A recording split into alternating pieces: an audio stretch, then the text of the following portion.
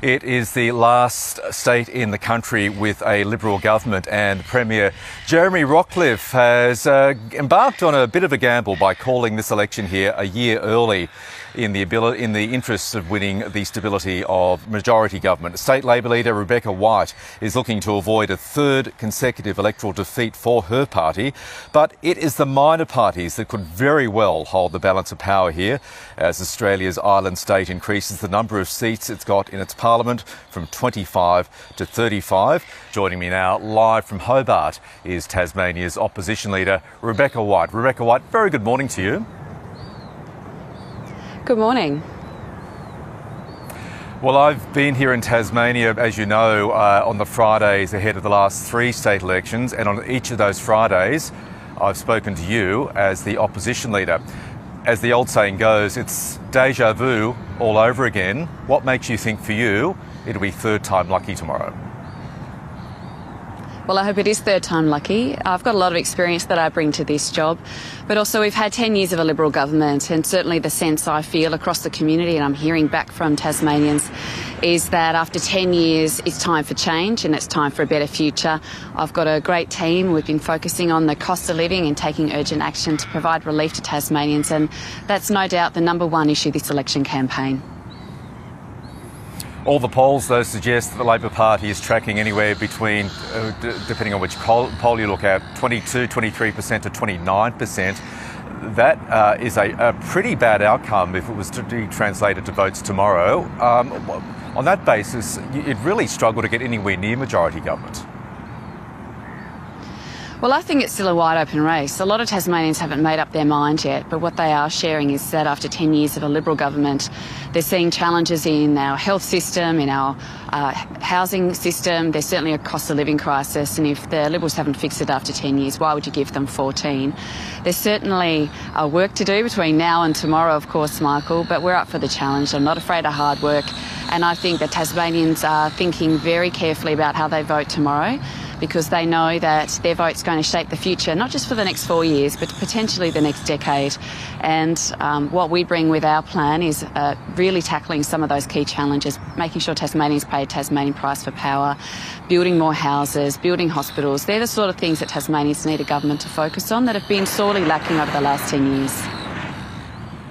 Uh, if you fall short tomorrow, if, if, both major parties fall short and there's the prospect of forming a minority government, I know you've said you won't do deals as such with, with the Greens, with independents, with minor parties. Would you be prepared, though, to enter into an arrangement with other groups to form government? I have been very clear about the fact that we won't do any deals, and I am asking for all the endorsement from the community and their support to form government tomorrow so that we can change the government and focus on a better future for our state.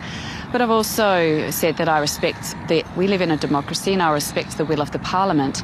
I'd be seeking the support of the Parliament to endorse our plan so that we can start uh, taking, uh, taking action on the cost of living. We can start building the houses Tasmanians need. We've got a terrible situation here where people can't afford to buy their own home. They can't afford to find a rental that's affordable for them. So there's a lot of things that need to change in Tasmania. Voting for the Liberals clearly won't deliver that change because they've had 10 years.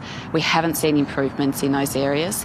So I'd be asking for the endorsement not just of the Tasmanian community this election, but also the broader Parliament if we are successful, so we can deliver on that change and make those improvements that Tasmania desperately needs. Would you go as far as offering ministries to, say, Greens or independent MPs in the form of a minority government? No, we wouldn't do that. And I want Tasmanians to have confidence that if they vote for a Labor government, that's what they get. It's a Labor cabinet. We won't be trading away positions within a Labor cabinet. We won't be trading away our policies or our values. I think Tasmanians can see that what we stand for is taking urgent action on the cost of living, repairing our health system, providing permanent employment for our health workforce, for our teachers so they stay here and don't leave the state, and making sure we build the houses that Tasmanians need. Uh, we want to be able to deliver that, but the only way to do that is to vote Labor this election. The only way to change the government is to vote Labor this election. Voting for minor parties or Greens or independent candidates could still see the return of a Liberal government, and I don't think anyone wants to give them 14 years. Okay, but it, it did seem uh, pretty well. I'm old and ugly enough to recall uh, Premier Lara Giddings, a Labor Premier uh, 14 years or so ago, had a Labor government with Greens ministers. That, that seemed to work okay. Well, uh, my commitment to Tasmanians is that we want uh, to form Labor government. I want to form a Labor majority government, but if we can form an arrangement where we can deliver our plan, I think it's important to respect the will of the Parliament and we deliver on that. But we won't be doing deals. If we are elected to government, it'll be a Labor government with Labor ministers in the cabinet. And Tasmanians need to have confidence that if they're voting for a Labor candidate, if, if they're voting to elect us, that that's what they get. Now, uh, the AFL Stadium, the proposed stadium there in Hobart, has loomed as a big issue. Uh, it'll cost uh, anywhere up to a billion dollars. Labor Party's been very clear that if you win, you'll seek to renegotiate the deal with the AFL on the stadium. But the AFL has made it very clear, Rebecca White, no stadium, no AFL football team. So that leaves you with very few options, doesn't it, if you happen to win? Well, I'm pleased that the CEO of the AFL has also publicly said that he'll work with whoever is elected, which is an appropriate and respectful response. And I look forward to being able to sit down and negotiate a better deal for Tasmanians because um, people would be aware that we've just been granted the 19th licence in the national competition, which is a very exciting moment for Tasmania. And a Tasmanian AFL team, both a men's and a women's team, won't be put at risk if we're elected on the weekend. I fully support it and our team fully supports it. But we've also been very clear that we don't think that it's the right priority for the Tasmanian government to use taxpayer money to fund a billion dollar stadium. It's a project that didn't go through cabinet, it hasn't been costed by Treasury.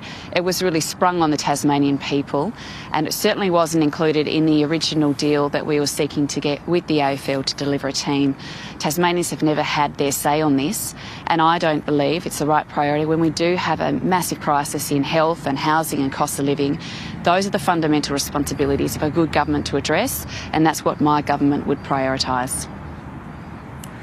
Rebecca White, uh, just before we go, election campaigns, as you know, can be pretty bruising, pretty robust affairs. I want to finish with an uplifting note. What's something you like about the Liberal Premier, Jeremy Rockliff?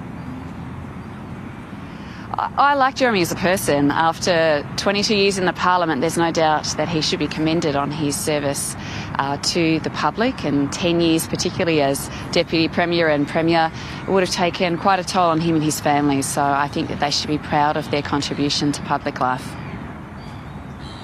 Rebecca White, really appreciate your time this morning. Thank you so much for joining us.